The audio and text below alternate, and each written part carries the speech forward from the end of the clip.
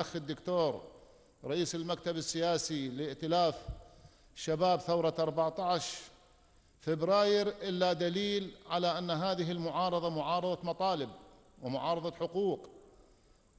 وهذا دليل على أن التمييز والتهميش والإلغاء قد بلغ حدا قاسيا على شعب البحرين.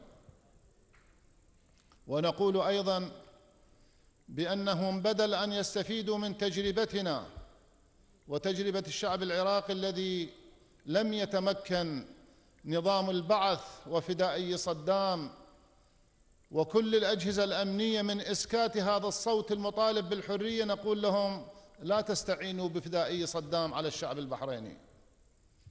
لا ينفعوكم. لو كانوا فيهم خير لو كان فيهم خير لنفعوا شعبهم لنفعوا بلدهم لنفعوا أهلهم. لا تجنسوهم. لا تأخذوا هؤلاء الذئاب لكي تستعينوا بهم على أبناء شعبكم. اجلسوا مع المطالبين بالحرية والعدالة بطرق حضارية نظامية قانونية دستورية واستمعوا إلى مطالبهم لكي تحموا البحرين وأهل البحرين سنة وشيعة. وتبعدوا البحرين عن الطائفية وتبعد البحرين عن التدخلات الخارجية. نعم لنا علاقات مع دول شقيقة وصديقة ولكن تبقى لكل دولة خصوصيتها التي ينبغي أن تحافظ على هذه الخصوصية حتى لا تنزلق في متاهات المشاريع التي لا تريد خيرا لهذا الشعب أو ذاك.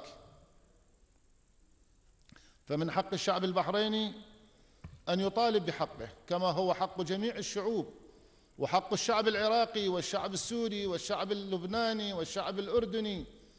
العصر عصر الشعوب وليست عصر الحكومات. بالذات إذا كانت غير مقبولة وغير مرضية من شعبها.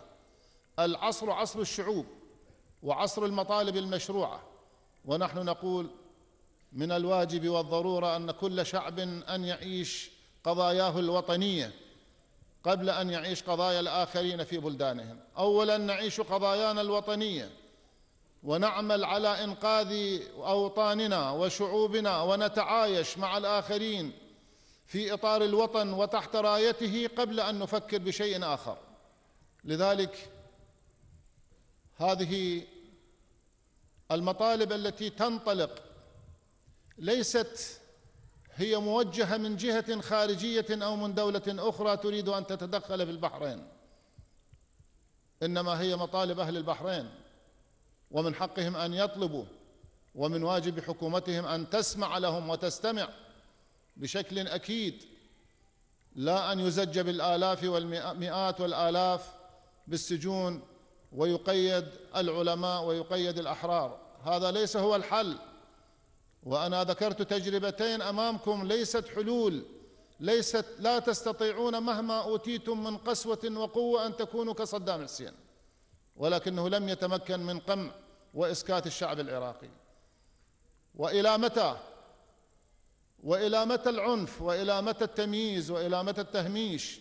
وكيف يستطيع إنسان أن يرى إلى جنبه شريكا له واخا له يعيش حالة من الضنك والفقر والعوز وهو منعم بخيرات هي مشتركة بين الجميع.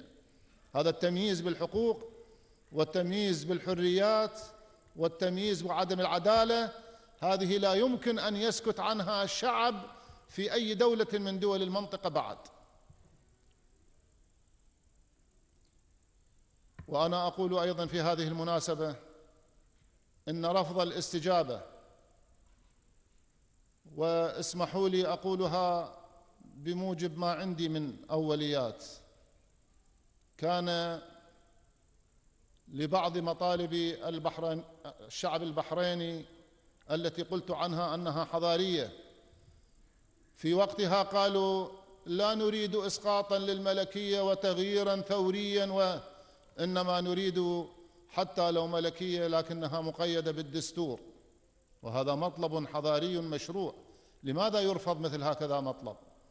والآن أصبح الشعب البحريني قد تجاوز هذا المطلب وإنما أصبح يطالب كما استمعنا في كلمة الأخ رئيس المكتب السياسي يطالب بالاستفتاء بالانتخابات لتقرير المصير. وهذه مطالب مشروعة. ومن من الظلم الفادح أن تقابل هذه المطالب الحضارية الحقه العادلة بالرفض والشجب